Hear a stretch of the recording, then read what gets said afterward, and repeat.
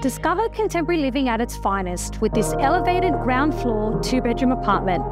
Flooded with natural light and boasting renovated interiors, be immediately impressed as you step into this home.